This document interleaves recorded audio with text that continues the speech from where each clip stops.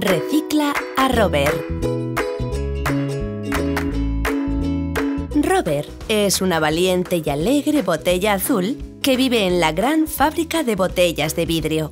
A Robert le gusta estar siempre brillante y jugar con sus amigos Rebeca y Ricardo.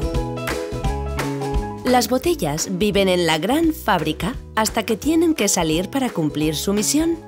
Cuando el director le explica a cada botella a dónde tiene que ir, es un momento muy emocionante.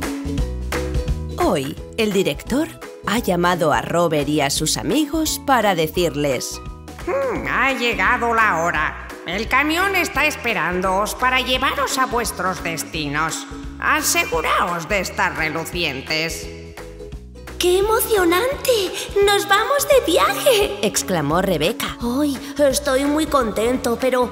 pero a la vez. un poco triste. Dijo Robert con pena. Porque no quiero separarme de vosotros. No te preocupes, le tranquilizó Ricardo. Una vez que hayamos terminado nuestro trabajo, nos volveremos a ver en la fábrica de reciclaje.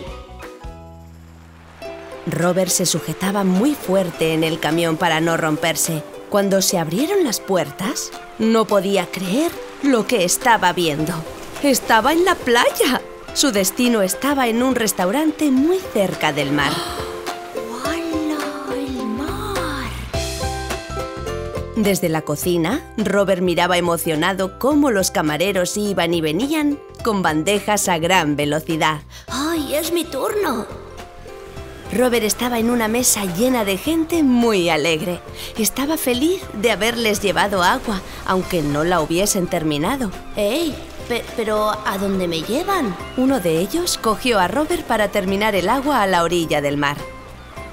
Al acabarla, dejó tirado a Robert en la playa. Robert estaba muy triste.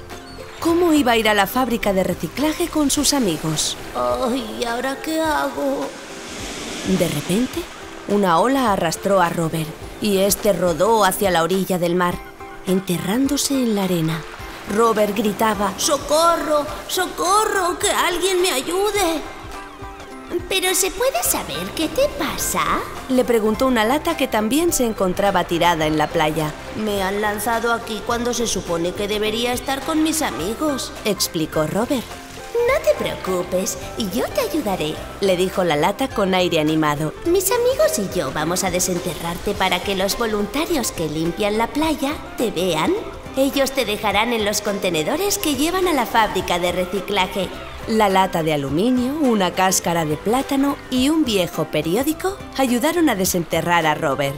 Una chica se acercó a donde estaban y metió a cada uno en una bolsa diferente. A Robert en la bolsa verde, a la lata en una bolsa amarilla, al periódico en la bolsa azul y a la cáscara de plátano en la marrón. Una vez llenas las bolsas con la basura de la playa, los voluntarios las metieron en los contenedores de plástico, vidrio, papel y basura orgánica. Robert estaba a salvo. Esa misma noche, unos camiones recogieron las bolsas para llevarlas a la fábrica de reciclaje. Robert estaba muy contento de por fin volver a ver a sus amigos.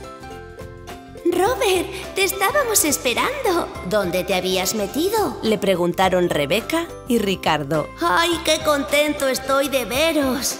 Os tengo que contar una aventura alucinante.